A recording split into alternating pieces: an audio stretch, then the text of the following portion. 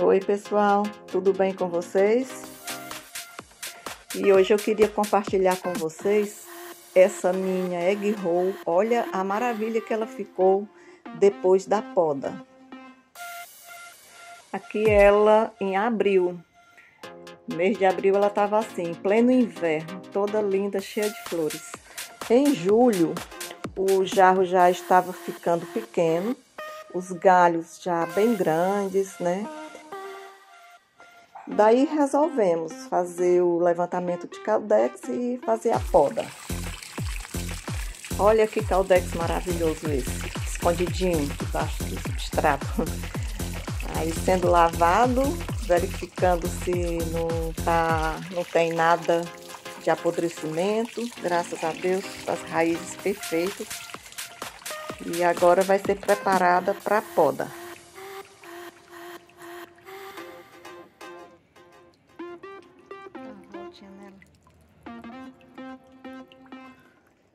Aí já iniciando a poda, lembrando que o estilete deve estar esterilizado, né?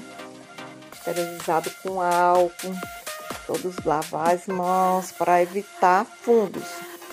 Então ele está fazendo aí os cortes, deixando um tamanho, isso aí o tamanho vai ser de acordo com o seu gosto, né? Como a gente queria que ela ficasse tipo uma mini árvore bem encopada, ele está cortando pequenininho, assim, em média uns três dedos cada galho. Agora ela vai passar três dias na sombra, esperando para ser replantada. Então é isso, gente. Eu espero que vocês tenham gostado. Se você gostou, deixa aí o seu joinha e conta para mim como é que você faz na sua RD.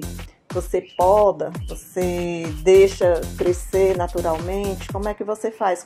Deixa aí nos comentários. Eu acho lindo de qualquer jeito, mas essa forma de mini árvore é a minha preferida. Então é isso. Um beijinho carinhoso para cada um de vocês. Obrigada a todos que ficaram comigo até o final deste vídeo e até o próximo.